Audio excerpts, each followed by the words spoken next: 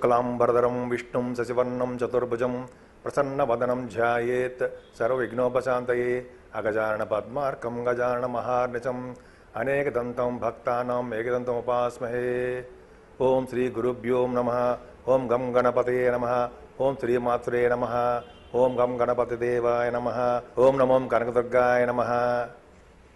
అందరికీ చూస్తున్న ప్రేక్షకులందరికీ నా హృదయపూర్వక నమస్కారాలండి. ఈరోజు దశమి అండి చివరి రోజు. అమ్మవారిని రాజరాజేశ్వరి దేవిగా అలంకరిస్తారు. అద్భుతం అనమాట చాలా మంచిది. ఇదో గొప్ప వరం అని మనకి అమ్మవారిని విజయదశమిగా చూడడం మనం చాలా గొప్ప వరం. ఎందుకంటే ప్రతి పనిలో కూడా మనం విజయం సాధిస్తాం. ముందుగా మనం చెప్పినట్టుగానే ప్రతిరోజు కూడా ఈ రోజు కూడా పంచామృతాలతోటి అభిషేకించాలి. పంచామృతాలతో తెలుసు కదండి? ఆవు పాలు ఆవు పెరుగు ఆవు నెయ్యి తేనె పంచదార.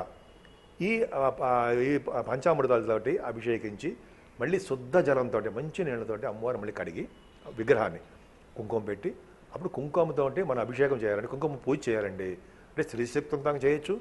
అలాగే ఆ రోజు మహిష మన విజయదశమి రోజు అష్టోత్తరాలు ఉంటాయి అవి చేయొచ్చు. లలిత సహస్రనామాలతో ఉన్నటువంటి అవి కూడా చేయడం బా చేయొస్తే చాలా చాలా మంచిది ఈ రోజు. అలాగేనండి ఈ రోజు కూడా మనం అమ్మవారికి కొబ్బరికాయ కొట్టడము రెండు అట్టుపళ్ళు నైవేద్యం పెట్టము పానకం వడపప్పు నైవేద్యం పెట్టడం మర్చిపోకూడదు. ఈ అండి అమ్- అమ్మవారికి అశోక పుష్పాలు గానుగ పువ్వులు సంపెంగ పువ్వులు వీలుంటే మల్లె పువ్వులు ఇలా రకరకాలైనటువంటి ఎర్రని మందార పువ్వులు అనేక రకాలతో పూజ చేయడం విశేషమైన ఫలం వస్తుంది ఫలితం వస్తుందండి. అంటే అమ్మవారిని పుష్పాలతో కూడా పూజించడం మర్చిపోకూడదు. అలాగే ఈ రోజండి అమ్మవారిని నల్లని నువ్వులతోటి మనం అభిషేకం చేస్తాం. నేను చెప్పడం కాదు దేవి భాగవతంలో తృతీయ స్కందంలో చెప్పబడి ఉంది. ఈ రోజుని నల్లని నువ్వులతోటి అమ్మవారిని అభిషేకం చేయడము మనం పెట్టుకుంటాం కదా. ఆ పువ్వులు ఆ నువ్వులని ఒక బ్రాహ్మడికి గుళ్ళో బ్రాహ్మడికి ఎవరైనా దక్షిణతో పాటు తీసుకుంటారు. ఆ నువ్వులని మనము దక్షిణతో పాటు ఒక బ్రాహ్మడికి ఇస్తే భయంకరమైనటువంటి నరక బాధల నుండి మనం కాపాడబడతాము అని దేవి భాగవతంలో మూడో తృతీయ స్కందంలో ఖచ్చితంగా స్పష్టంగా చెప్పబడి ఉంది. నా సొంత కవిత మాత్రం కాదు. ఈ అండి మనం అమ్మవారిని ఆయుధాలతో పూజిస్తాం కదా.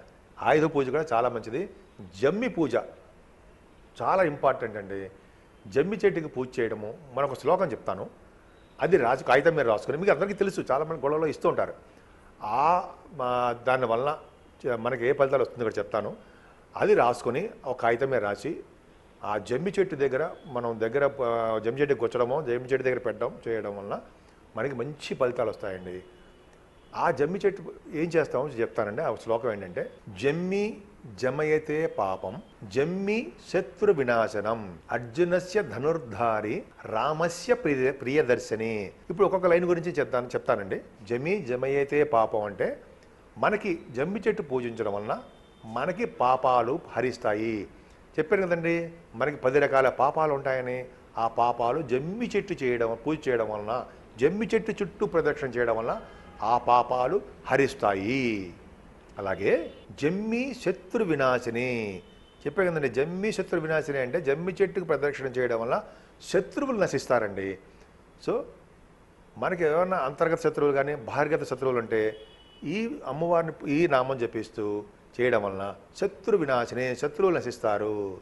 అర్జునస్య ధనుర్ధారి. అర్జునస్య ధనుర్ధారి అంటే ఒకనొకప్పుడు అర్జునుడు ఈ జమ్మి చెట్టు మీద తన యొక్క గాంధీవం అనే ధనస్సుని ఈ చెట్టు మీద ఉంచాడని మనకి శాస్త్రాలు చెప్తున్నాయి. సో ఆ మళ్ళీ ఆ జమ్మి చెట్టుని మళ్ళీ ఆ గాంధీవం తీసుకునేటప్పుడు ఆ జమ్మి చెట్టుకి పూజ చేసి ప్రదక్షిణ చేసి పూజ చేసి అర్జునసి ధనుర్ధారి అని చెప్పాం కదా. అంటే అర్జునుడు ఆ ధనుస్సుని తీసుకోవడం వలన విజయం సాధించాడు. అలాగేనండి రామస్య ప్రియదర్శిని రాముడు కూడానండి ఈ ఈ జమ్మి చెట్టుకి పూజ చేయడం వలన సీత అమ్మవారిని కాపాడ సీతమ్మవారిని కలిసాడు. అంటే తన కష్టాలన్నీ పోగొట్టుకున్నాడు అని తెలుస్తోంది.